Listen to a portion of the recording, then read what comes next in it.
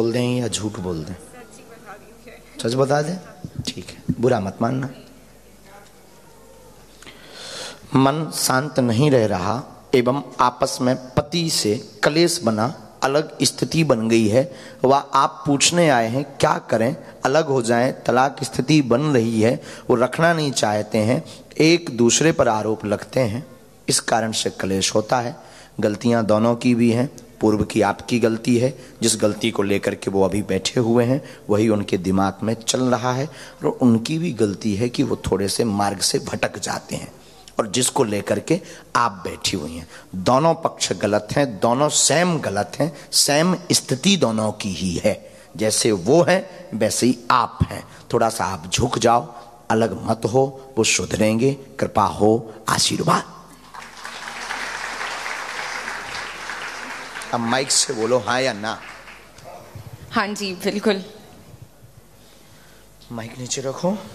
तुम तो हिंदी पढ़ लेते ना? हाँ जी। माइक नीचे रख लो।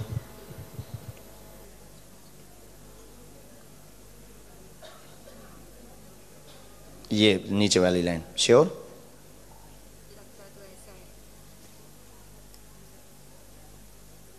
लगता नहीं श्योर पे जाना चाहिए। एक मिनट। हम्म। उनके दो कारण अब हमने श्योर वाले भी लिख दिए। एक तो ये था इसी लाइन के बाद में। ठीक है? और एक ये है। ठीक है? बराबर? अब तो श्योर है? आशीर्वाद। लेकिन ये खोलना नहीं है तुम्हें। ना बोलना है क्योंकि आपकी भी कमियाँ हैं। आप भी हवा में उड़ रहे हो। समझ गए? हमने कहा बोला है? कंट्रोल और ये लाइन हमने इसलिए मिटा दी ताकि कोई पढ़े तो हमारे ऊपर केस ना करे। और बहन सामंजस्य बना के चलो। गृहस्थ जीवन है। और बार बार गृहस्थ जीवन में, क्योंकि इसमें पिस रहे हैं दोनों पक्ष के परिवार। अच्छा परिवार की कोई गलती नहीं है। दोनों परिवार चाहते हैं कि तुम साथ रहो, वो साथ रहें। लेकिन वो सुधरे और आप भी नहीं चाह रहे हैं। सुधर जाओ।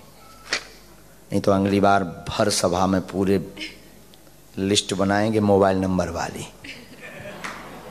खुश रहो, जाओ। खुश रहो। ये डांट हमने इसलिए लगाई बेटा ताकि आप सुधर जाओ। माइक हाथ में लिए रहो। ये डांट हमने इसलिए नहीं लगाई कि आपकी बेजती कर रहे हैं। हम चाहते हैं आप सुधरें और आपका गृहस्थ बढ़िया हो। इसलिए एक गुरु के नाते जो गुरु का धर्म होना चाहिए तो आप भी बहुत नहीं उड़ना है। कंट्रोल। उड़ के फ़्लाइट से आ तो गए। अब मत उड़ो। जाओ। Thank you welcome